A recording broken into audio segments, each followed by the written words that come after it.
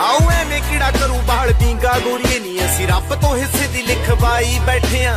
ਖੜੀ ਹੋ ਕੇ ਬੇਬੇ ਰਹੀ ਸੁੱਖਾ ਸੁੱਖ ਦੀ ਨਹੀਂ ਕੁੜੇ, ਤਾਂ ਹੀ ਅਸੀਂ ਇੱਥੇ ਤੱਕ ਆਈ ਬੈਠੇ ਆ। ਕਈ ਕਹਿੰਦੇ ਕੱਲਾ ਕੱਲਾ ਪੁੱਤ ਫੜਨਾ, ਕਈ ਕਹਿੰਦੇ ਇਹਨੂੰ ਸੁੱਟ ਸੁੱਟ ਫੜਨਾ, ਕਈ ਕਹਿੰਦੇ ਮਿੱਤਰਾਂ ਦਾ ਕੁੱਟ ਫੜਨਾ। ਸਾਲੇ ਫੜ ਕੇ ਤਾਂ ਦੇਖਣ ਕੁੜੇ ਉਹ ਕਈ ਕਹਿੰਦੇ ਔਜਲੀ ਨੂੰ